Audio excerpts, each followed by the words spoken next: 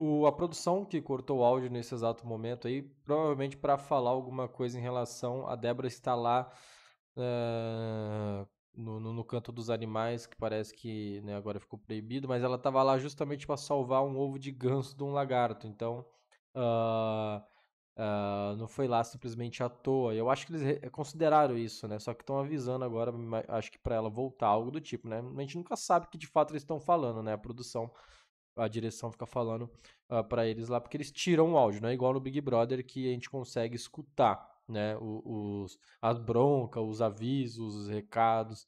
Aqui eles cortam o áudio da gente no Play Plus e a gente não consegue saber o que está sendo dito, né? Só aquela voz automática lá informando quando uma punição sai, ou, é, ou tá em andamento, enfim, só essas coisinhas aí. Vai deixando aquele seu like, se inscreva no canal e até o próximo vídeo. Deixa sua opinião em relação ao Andréia Morango e a Bia, incomodados com o fato da Débora ter esse jeito dela, né, de falar mesmo e tudo mais. Deixa nos comentários.